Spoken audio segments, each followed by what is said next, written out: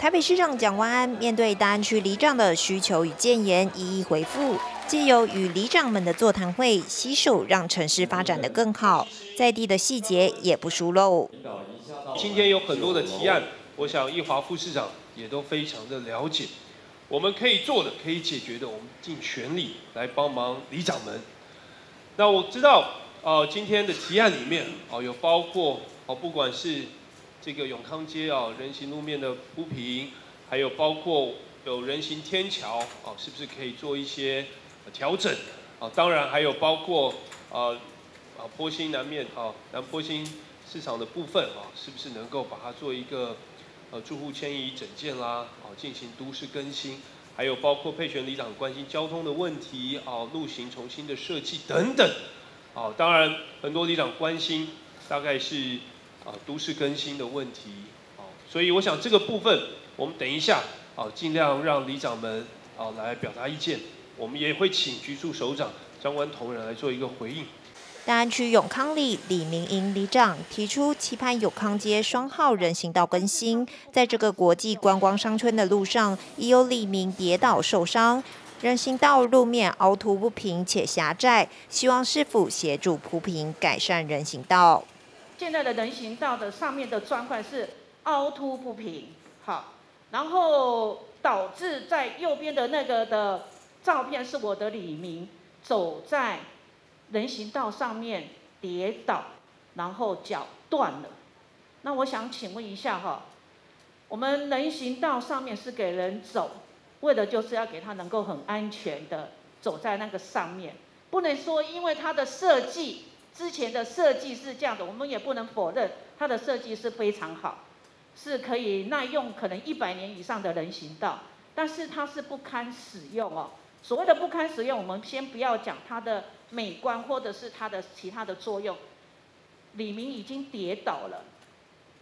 市长，我不知道你觉得说，如果我们自己的家长，我们自己的爸爸妈妈走在人行道跌倒，然后脚断了，不晓得你会做如何的处理？那这个李明，我的大姐，我本来想跟她申请国赔，她说不用不用，李长，你只要告诉市长，把我们的路。我们的人行道铺平就好了，他的要求就是指他把它铺平，然后大家再来看一下中间的那一块，那个那个照片是永康街一号，永康街一号的建案，那天我看到他的他就可以把它弄平，因为新工处我曾经这个会刊过三次了，之前跟我讲说这个材质是没有办法弄平的，我那天看到说他为了一个建案。它可以把它暂时性的铺平，到最后还会再复旧，但是它都可以做到。为什么我们新工处做不到？可以把它铺平，为什么我们做不到？我的要求就是让它铺平，让我的李明走在上面不会跌倒。这个永康街人行道更新这部分，其实我们已经有列入更新的考量哦。那因为这个路面是早期。九十二年造街都发局造街计划所铺设哦，那因为当时用的这个是属于块砖哦，那跟现在人行环境的要求平整的这个的水准有点落差，但是因为在整合地方意见的时候，因为永康街的两边属于不同里，那对于这个人要铺面更新的这个这个诉求有不同意见，所以我们后续是再来召开这个说明会来凝聚共识。听取里长关切的市容与行人安全问题，蒋完立刻回应，一定要更新。朋友也会跟我讲哦，这个路面当然当时的设计是很漂亮不错，但是因为不平，所以有些老人家轮椅推过去，其他就会干脆走马路上面，其实是很危险。好，所以我想基于这些理由，我们来做。我觉得应该要做，我们把它做一个重重新的把它，呃，铺平，好，那当然这个也因为二十年了，我们现在应该在技术工法上面，哦，也可以把它不止做得好，也可以做得更漂亮，好，因为永康街商圈终究是一个国际知名商圈，我们希望先从双号这边做起，好，我们也希望带动一个示范的效果，也让大家可以看到，其实经过这么多年是需要把它做一个整。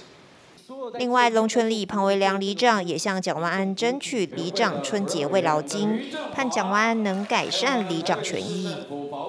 今哦，在座的现场，好上到市长，下到这边所有的工友，在座所有人，你知道你们都有年终奖金，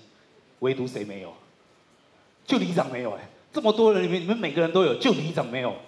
拉到全国，全国从总统蔡英文也有，到这个各级的民意代表全部都有，就是里长没有。我不懂为什么，